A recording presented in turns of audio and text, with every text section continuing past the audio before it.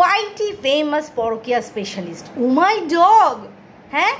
তোর এক ভিউয়ার্স বলেছে যে খুব ভালো করলে, এখন আরও কিছু লোকেদের তুমি ভালো কন্টেন্ট দিয়ে দিলে।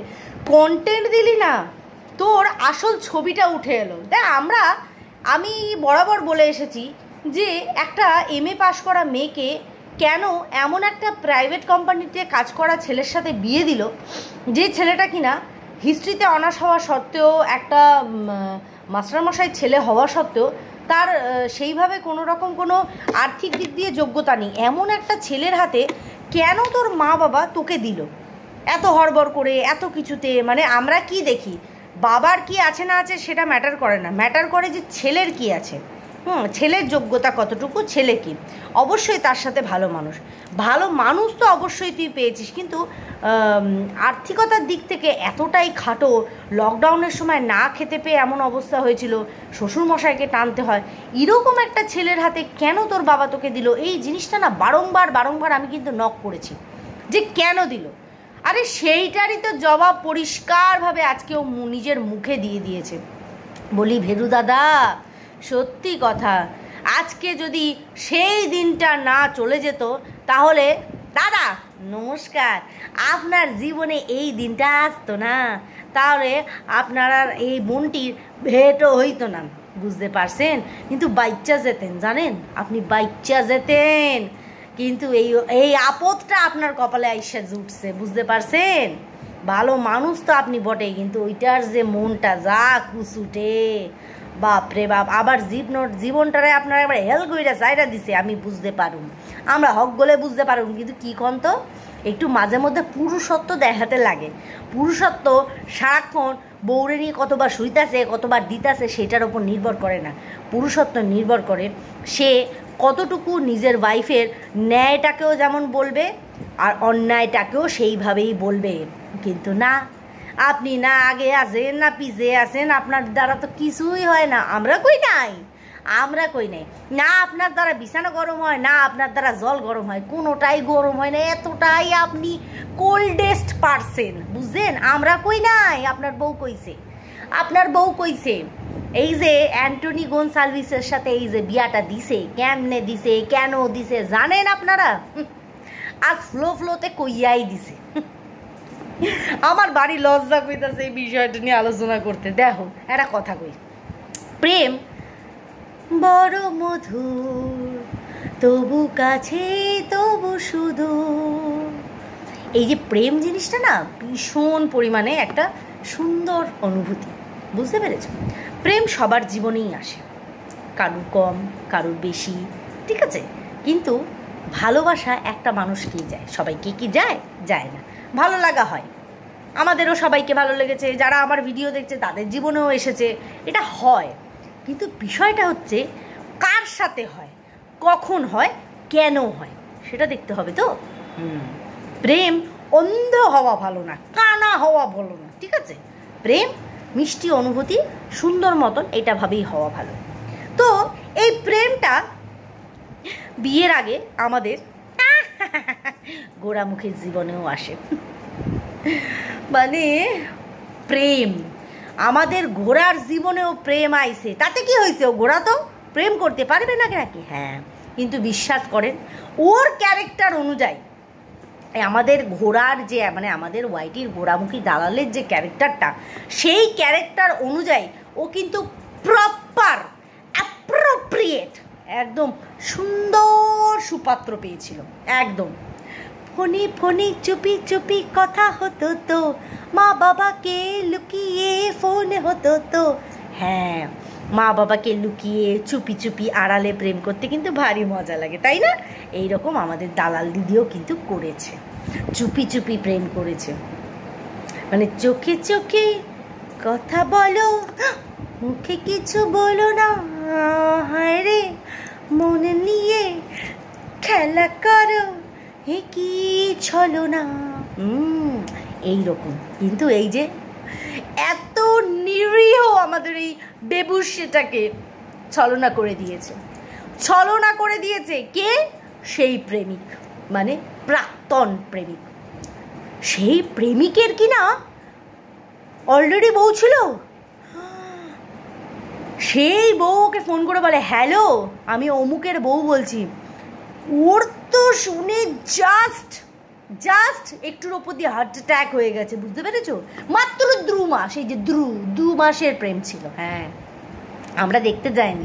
আমাদেরকে বলেছে যে দু মাসের প্রেম ছিল। মানে এটা ঢাকার জন্য বুঝেছ তো? মানে ওই যে বলতে হয় না এক সাইড তো বলে দিলাম আরেক সাইড চেপে রাখি বেশি আবার বললে পরে না এটা আমি তোমাদেরকে বলছি শুনো। দু মাসের প্রেম ছিল বুঝেছ? দু মাসের প্রেম ছিল না।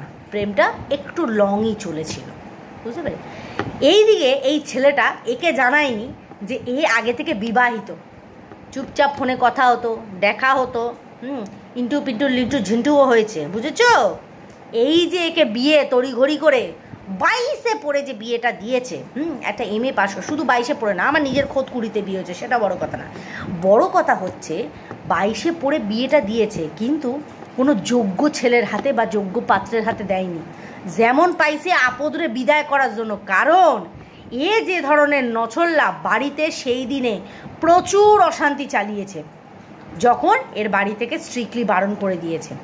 এ কিন্তু এ কিন্তু ওই বিবাহিত পুরুষের সাথেই জড়াতে চেয়েছিল। মানে যেহেতু এ তো প্রচণ্ড কমিটেড আর সত্যবাদীর গোষ্ঠী কিলানো ফ্যামিলি থেকে বিলং করে, এ কিন্তু মানে যেই শুনেছে বউ আছে, তখনই ওর ওপর চড়াও হয়েছে। তোমার বউ আছে, তুমি আমাকে জানো নি আমার সাথে মিশেছে কেন? তোমাকে বিয়ে করতেই হবে। এরকমভাবে কিন্তু ওই পুরুষটিকে ও প্রচণ্ড পরিমাণে ব্ল্যাকমেল করেছে। বুঝতে পেরেছ তো?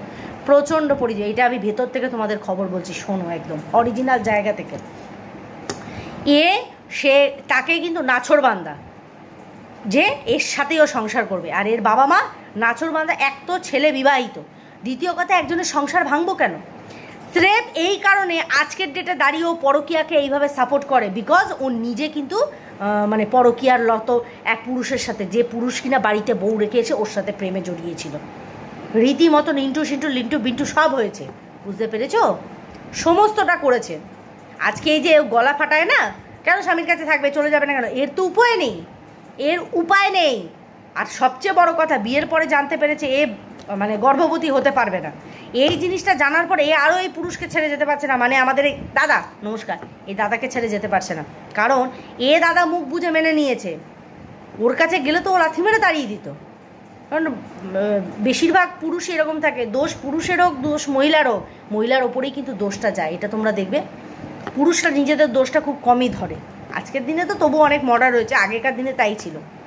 তাহলে একবার ভেবে দেখো তোমরা, যে খোদ নিচে একটা বিবাহিত পুরুষের সাথে সম্পর্কে লিপ্ত হয়ে তার সাথে রীতিমতন প্রেম চালিয়েছে, তখন একটা বারের জন্য চিন্তা করেনি তার ঘরে বউ আছে, তার সংসারটা ভেঙে যাবে। সে কি করে অন্যের সংসারের মূল্যটা দেবে? এই যে জিনিসটাও রয়েছে না, এটা খালি বাধ্য হয়ে রয়েছে। কারণ ওর বাবা মা ওকে বাড়িতে রাখতে পারছিল না। যখন তখন পালিয়ে যাবে, যখন তখন একটা কিছু ঘটনা ঘটিয়ে ফেলবে। চরম অশান্তি বাড়িতে, চরম অশান্তি।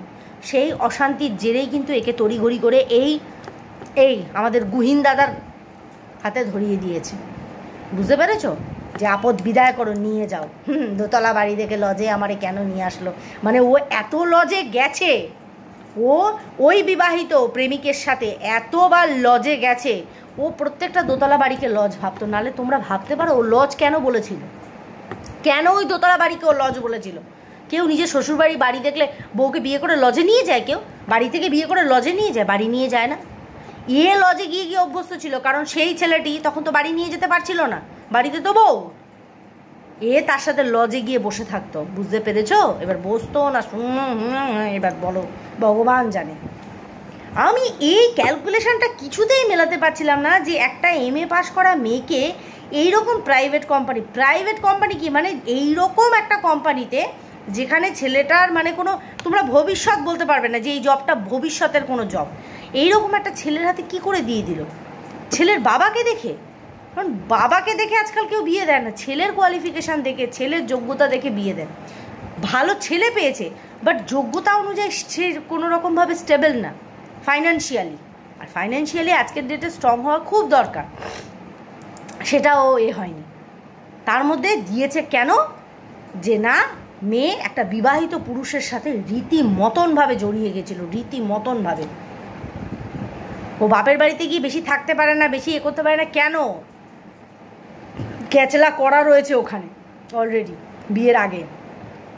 নাহলে তোমরা ভাবো আজকের ডেটে দাঁড়িয়ে পরকিয়াকে এত রকমভাবে তোল্লাই দিচ্ছে, যে কিনা যাকে সামনাসামনি দেখেনি, তার বিষয়ে এতটা ক্ষোভ উগড়ে দিয়ে ভিডিওতে সেটা এক্সপ্রেস করে দেয়, তাহলে ভাবো তো যখন ওর মা বাবা ওকে বারণ করেছিল এই ছেলের সাথে সম্পর্কে থাকা যাবে না, ও কীরকম রায়ট করেছিল বাড়িতে একবার তোমরা ভেবে দেখো। সেই রায়াটের দরুন ধরে বেঁধে একে আগে বিয়ে দেওয়া হয়েছে, যে দূর করো আগে, এই আপদ আগে বাড়ি থেকে দূর করো, যখন তখন যাতা ঘটিয়ে দেবে। আর দায় এসে পড়বে মা বাবার ওপরে। যখন বিয়ের পরে এ জানতে পারল, এই জন্য শর্ত দিয়ে গেছে যে বিএড করাবো, কারণ সেই সময় ওর বাবার ক্ষমতা না, ওর বাবা করায়নি। তাই ও বলেছে, বিএডটা আমি করব। তাও এসে এখানে বিএড কমপ্লিট করেনি। এই শর্ত দিয়ে ঢুকেছে। বুঝতে পেরেছি এই শর্ত দিয়ে ঢুকেছে, তারপরে যখন প্রেগনেন্সির টাইমে জানতে পেরেছে যে ও মা হতে পারবে না, তখন গিয়ে ও স্টেবল হয়েছে। নালে এতদিনে এই ছেলেকে ছেড়েও বেরিয়ে যেত। কি সাংঘাতিক হ্যাঁ? বিবাহিত পুরুষের সাথে প্রেম। যে নিজে একটা পরকিয়ার রত মানে সেই পুরুষটার মধ্যে পরকিয়ার আবরণ জেগেছিল বলেই তো ঘরে বউ থাকতে এর সাথে এসে প্রেম করেছিল। তাহলে ও আজকের ডেটে দাঁড়িয়ে কেন পরকিয়াকে সাপোর্ট করে বুঝতে পারছ? ক্যালকুলেশন সোজা মিলে যাচ্ছে। বুঝতে পেরেছ? তাহলে এই জিনিসটা পুরো ক্লিয়ার আমাদের দালাল কিন্তু নিজে নিজে খোদ বয়ফ্রেন্ড রেখেছিল, বিবাহিত বয়ফ্রেন্ড তার মানে ও বিয়ের আগে থেকে পরকিয়া নামক জিনিসটার সাথে ওতপ্রোতভাবে জড়িত, পরিষ্কারভাবে। যার জন্য এর মা বাবা তড়িঘড়ি করে বাড়ি থেকে ছেটিয়ে বিদায় করে এই বাড়িতে পাঠিয়েছে। আর এই ছেলেটার হাড় মাছ জ্বালিয়ে খাচ্ছে। যাই হোক বন্ধুরা, তোমাদের কাছে এই তথ্যটা তুলে দিয়ে গেলাম। আর এটা কিন্তু এদিক ওদিক সেদিক থেকে না, ডাইরেক্ট জায়গাতে গিয়ে আসা মানে মানে জিনিস। আর দ্বিতীয় কথা, যেটা ও নিজের মুখে স্বীকার করেছে, আলাদা করে বলার আর কিচ্ছু নেই।